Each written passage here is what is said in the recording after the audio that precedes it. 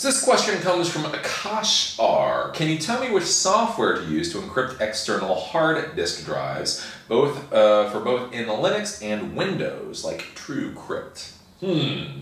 Uh, so I'm not a fan of encryption, to be honest with you guys. I know. Eli, Eli, don't you understand? Yes, I understand about the NSA and all these other agencies and all this other stuff, and I just don't care. Uh, one of the issues you come into uh, whenever you're dealing with security is security is a double-edged sword. It's a double-edged sword with Windows bugs in it. Sometimes it, will just whap, you know, swing around and, and, and, and chop your head off for no apparent reason.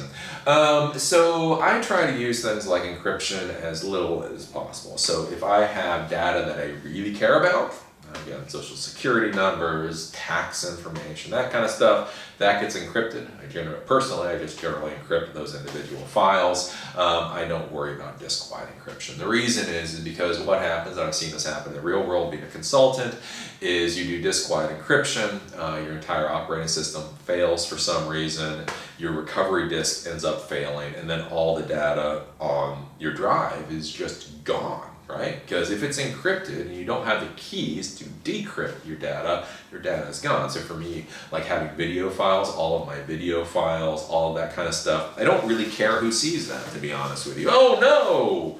Oh no, you saw the video that I posted to YouTube. Okay. And so that's a problem that I see with a lot of people. You know, this whole encryption thing, you know, I know with NSA and all that kind of stuff uh, right. You know, if you're talking about your school paperwork, if you're talking about video files, if you're talking about pictures, if you're talking about general things, um, encryption is more trouble than it's worth. Um, I know a lot of people give me hate for that. I don't care. Right. But, but, if you're talking about encryption on an external drive and you really want encryption on an external drive, honestly, what I would say is that you should look for hardware encryption uh, external hard drives. Um, so with hardware encryption external hard drives, uh, the encryption is built in uh, to the external hard drive, and generally from what I've seen is there are less problems. Because again, you do have to worry about things like corruption. All data can get corrupted. Um, anybody that's dealt with move data back and forth very much, you know, has seen it happen. You know, you move picture files, you move video files, you move PST files or something, something happens during the transfer process, there's a little bit of corruption.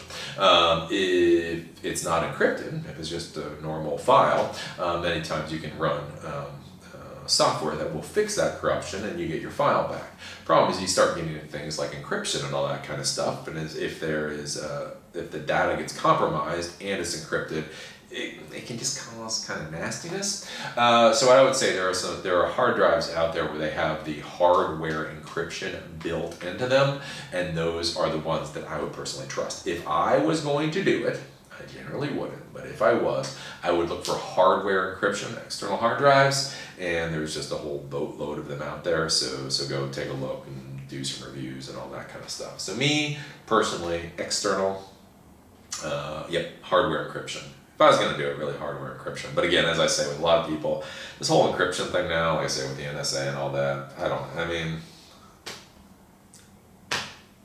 you know what I'm saying? It's my opinion. It's my, you can have whatever the hell opinion you want. If you want to use TrueCrypt, use TrueCrypt. Me, personally, if I cared, I would use hardware encryption. Um, if I cared, which I probably wouldn't.